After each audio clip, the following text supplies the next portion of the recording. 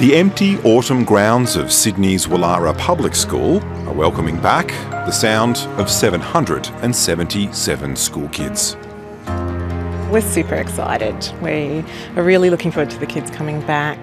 All our parents are they're excited about coming back. We've just been reassuring them about everything we've got in place to ensure that the kids are going to be safe. So yes, they're, they're leaving their, their kind of bubble of home Principal Nicole Malloy and her staff's rapid pivot to flexible online learning during the crisis now switches back to face to face. Getting some games out. Fantastic. And I'm just showing Nat how this one works. You know a lot more about responding to these crises than you did three months ago. So, does that make you more ready in case it might happen again? Yeah, absolutely. I feel we'd be well prepared if, if there was any any sort of hurdle along the way. Parents, too, for the sake of their children's education, are putting aside their fears of a resurgence of coronavirus. We're so happy to be sending them back to school. And have you missed your friends at school? I've missed them a lot. It'll be great to see my friends again. We were terribly worried about actually getting their education still sorted out. With schools in New South Wales returning to full time face to face study, it's the surest sign yet that things are beginning to return to normal.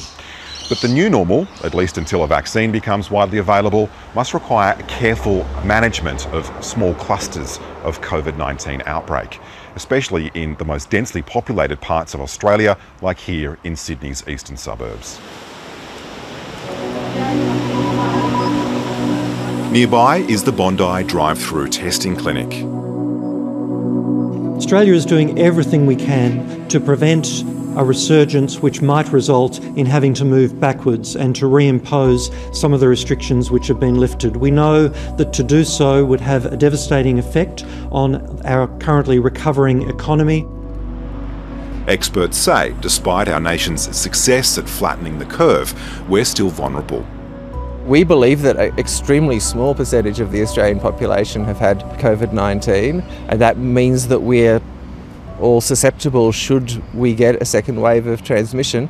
And that's likely to be the case for 6, 12, possibly even another 18 months. So, this is the new normal for us. If some level of infection is somewhat inevitable for the sake of the economy and society reopening, then test, track, and trace investigation is the only weapon we have. We'll do little cluster investigations around those people and test their close contacts. And that's been very important in control of the, nurse, the Newmarch House nursing home outbreaks, for instance. Health authorities have learnt to track and trace during some of the largest clusters we've seen. For example, Cedar Meats in Victoria, the two Melbourne McDonald's restaurants, Newmarch House in Sydney, and of course the largest known outbreak, the Ruby Princess cruise ship, linked to cases across the country and around the world. The Doherty Institute in Victoria established using genomic sequencing. There were 76 separate clusters.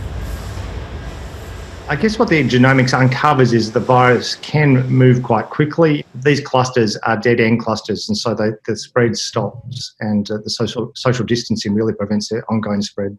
We have been seeing this occurring in some other countries where restrictions have been lifted and where a resurgence has occurred. In the United States, new disease modelling from Columbia University has shown that 36,000 fewer people would have died if the US adopted social distancing just one week earlier. Another country Australia can learn from is South Korea.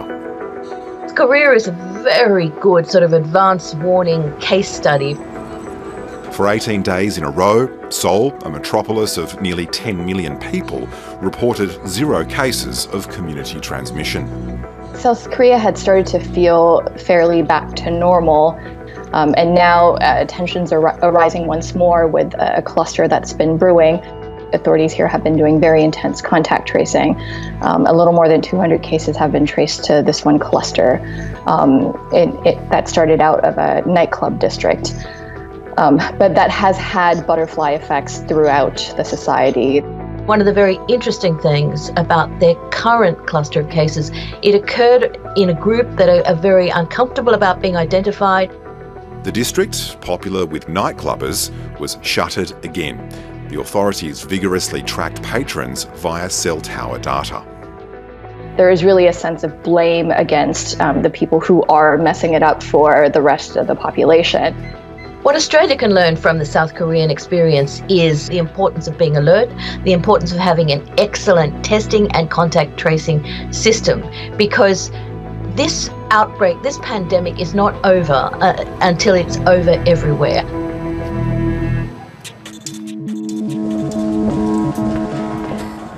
Intensive care units like this one at Royal Melbourne Hospital are now much better prepared than they were three months ago when case numbers first spiked. We're increasingly confident we're not going to see a tsunami of patients arriving. I think the expectation is that we'll be receiving uh, a number of patients over the next several months, but at any one time we might have somewhere between one to five patients with COVID in our ICU, which is um, a lot better than contemplating looking after 50 to 100 patients. 10 new ICU beds are now on standby, as well as 40 more ventilators. Increasingly, we are looking in the post COVID world as we live with COVID. We're very concerned about older Australians who are living in residential aged care facilities. The most vulnerable age group remains isolated in more ways than one. We know that we live in an area that there's been a number of outbreaks. We don't know where the people go and where they've been. We've only been out three times, and, and two of those times were early in the morning. What you want to do is have things that people can actually read. In northwest Melbourne, 71 year old Anita Smith and husband Dwight operate an internal TV channel inside their retirement village to give the many computer illiterate residents vital information on COVID 19. Really, we're talking about any cold and flu symptoms. Don't presume that everyone can use technology. I would say there would be a huge percentage in the village that haven't got that app. They wouldn't know how to do it. They wouldn't have had access to people to help them to do the app. While the lockdown is easing for some, the threat of a secondary outbreak remains a threat to all. We have social interaction, but I have friends that I'm extremely worried about who are in, in lockdown and have been all the time. So, very clearly, in Australia, there are a number of populations that we're very concerned about. I think everybody is concerned about doing all we can to prevent a second wave.